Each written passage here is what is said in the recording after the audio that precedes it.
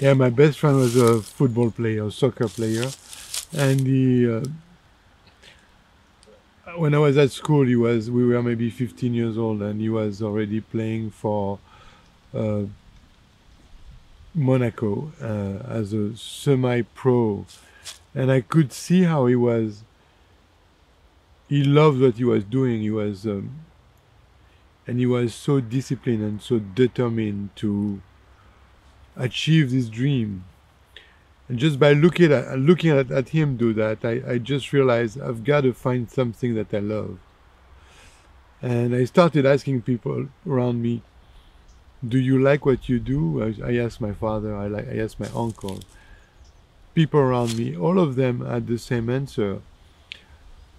I have to work, and I used. I, I, I, I could have done this. I would have done that, but instead I've I had to go to work, I have to make money, so I couldn't do what I wanted to do. And I realized, you know, I'm going to spend my life working.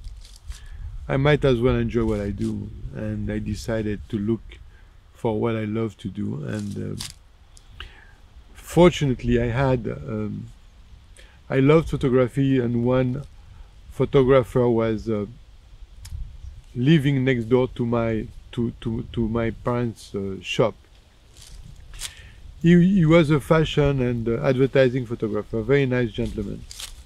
And I went and I learned, I, I worked with him, I, uh, I helped him, and I started learning the craft of photography. And I knew at the time I was going to be a photographer and a filmmaker.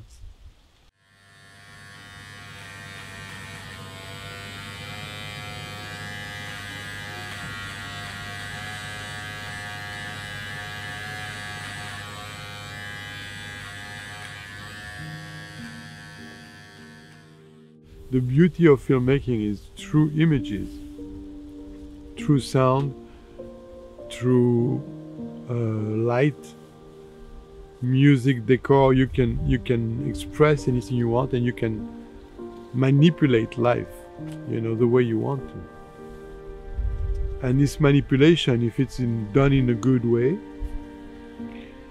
can inspire people, or, or can give people, can make people feel amazing, can also have people question, understand why this, why that, why am I here, what am I doing. Uh, be a part of uh, the people that change life, changing life through storytelling, through making movies. I was lucky enough to get the first time I got on on a set. I was a photographer, and I never had been on a set. I was already a director, because it was just at this time in 1986, 87, where it was very fashionable to hire photographers to direct music videos, and I directed my first music videos. Uh, I had no idea, I had never been on a set before, on a movie set before. So I did moving images of what I used to do with still, and I told the story my, in my own way. And it worked out.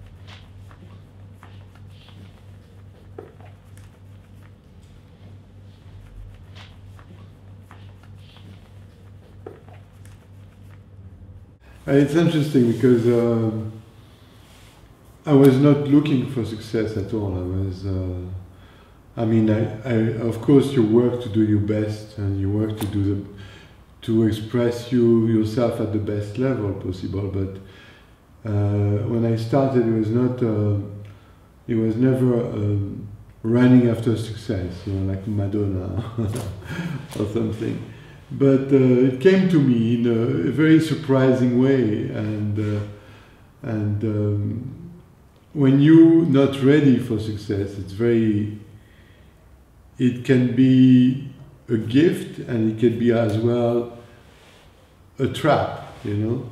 Because uh, funny enough at school people teach you that it's going to be hard you're going to have problems, you might be unemployed, but nobody is teaching you how to be happy. Nobody is teaching you what are you going to do when success comes to you, which is very funny, but it should be something we teach to children. Because people spend the money, they blow it off, people uh, start taking drugs.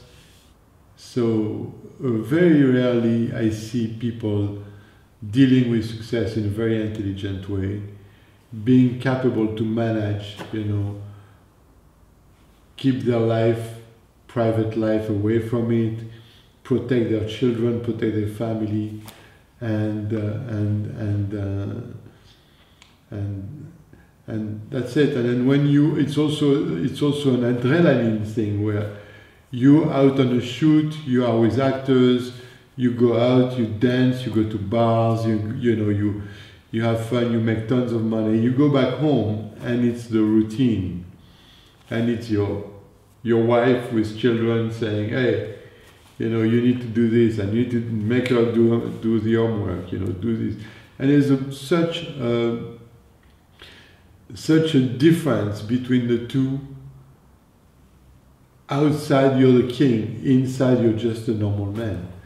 And this is the difficult part, you know, when you find yourself alone or inside your family, in front of your mother, in front of your, your children or your family, you're just a simple, normal man.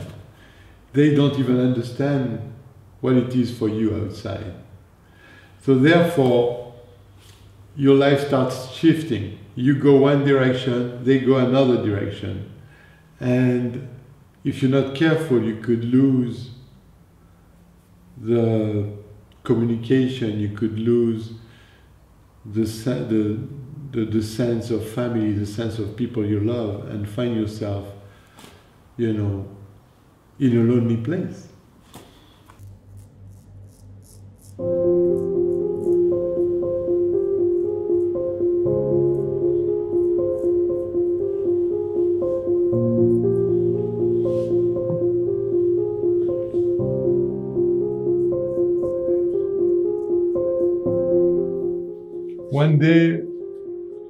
Head of uh, L'Oreal came to me and said, Erick, thank you so much. We've sold 55 millions of mascaras with your commercials. And I realized, wow,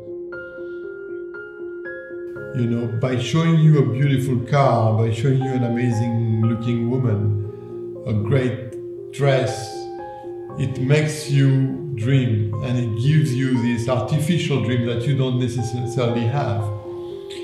Uh, society is designed to direct your dreams in the direction that they want so you can spend your money and to trap you in a way. I was really uh, one of the most uh, lucky filmmakers in, in the planet in terms of commercials but I was unhappy inside because I was not giving 100% of the capacity that I could give because I had to serve a product every time. Isn't there anything else that you could do that would be best for humanity, for people, for the people around you? Would you want to be remembered uh, as somebody that sold 55 million mascaras? At the time, I just went with the flow. It's not like I was hating my job. I love my job. Every time I would be on set, I would be happy because I can always find something that excites me. Uh, and I was young. I did not realize that the implications. I did not realize that while I'm doing that, I'm not doing something more important. So that day I decided I'm going to stop it would take me time, but I would stop doing the commercial and go back to expressing myself in any art form or shape that I could do. Um, I started making movies, short films. I made Johnny 316 at the time.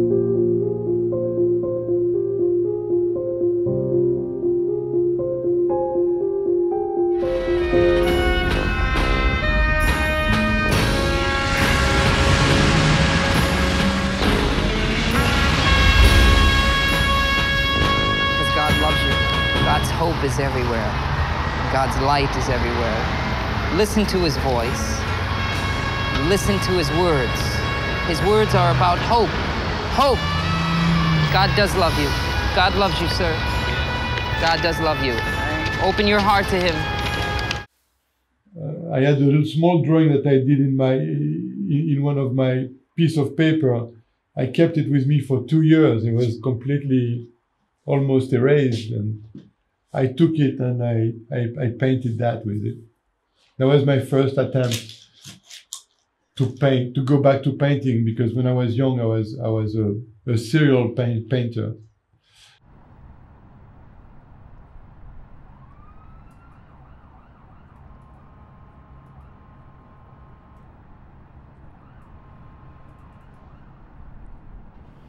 So I took the time to contribute to a portrait of that city that gave me so much pleasure, so much money, so much love. I had to go back with something, give a témoignage of something, you know. I realized that very early on, you know, I lived there for 20 years, but I realized that uh, the power of this cinema, cinematic dream, where people can't access it, can't touch anything. They think they're going to meet Brad Pitt or Marilyn Monroe at the corner of a street, but they never do. And they end up doing a shitty job in a shitty place, like uh, all of us.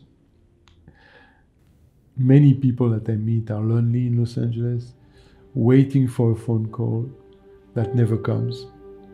And sometimes, of course, they get lucky, like me and you get to touch the dream for a moment.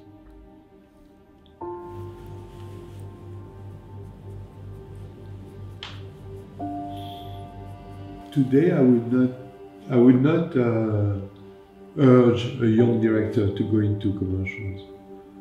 Uh, I would say spend 10 years of your life struggling to make a movie is more worth it than spending 10 years of your life successful as a, as a director in commercials.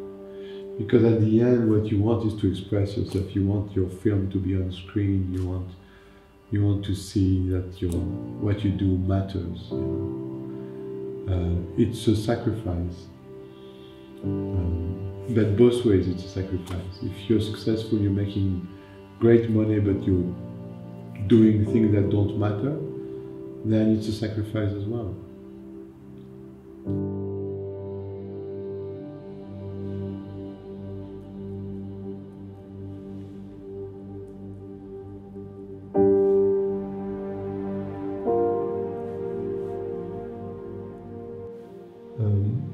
Was 10 or 9, there was a camera inside the, the, the, the apartment. Uh, and I was living with my, my, my parents, but also uh, in the apartment below were my aunts and my uncle and my grandmother. So it was a very happy and tight family all together. But uh, they, they had a camera. One of them had a camera, a photographic camera, and I looked, always looked at the camera. Every time I wanted to touch that camera, somebody would come and say, "Don't touch it. It's not for you. you are too young. You can't touch this camera." And uh, and so I became fascinated by, subject, by this subject.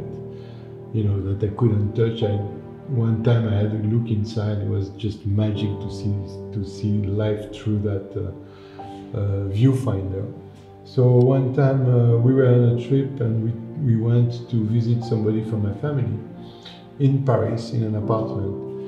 And it's an aunt of mine, which was very, very big, heavy woman with big breasts and big features, you know. Um, and she offered me a camera. She offered me my first camera.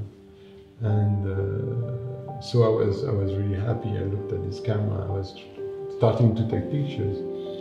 But um, and I was standing in the corridor of, of, this apartment, and I remember even today, like it was, like it's uh, it was yesterday.